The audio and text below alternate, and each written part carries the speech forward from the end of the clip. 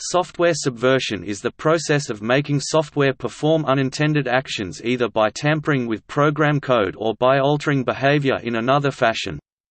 For example, code tampering could be used to change program code to load malicious rules or heuristics. SQL injection is a form of subversion for the purpose of data corruption or theft, and buffer overflows are a form of subversion for the purpose of unauthorized access. These attacks are examples of computer hacking. Anti-subversion software detects subversion and attempts to stop the effects of the hack. Software applications are vulnerable to the effects of subversion throughout their life cycle from development to deployment, but particularly in operation and maintenance, anti-subversion protection can be accomplished in both a static and dynamic manner.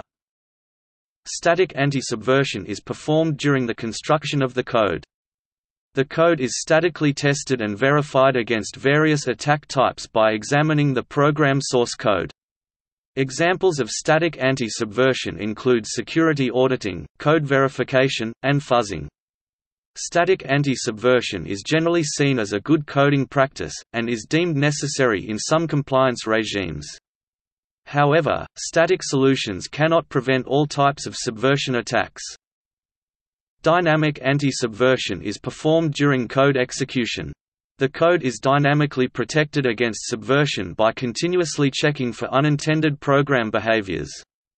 Examples of dynamic anti-subversion include application firewalls, security wrappers, and protection embedded in the software.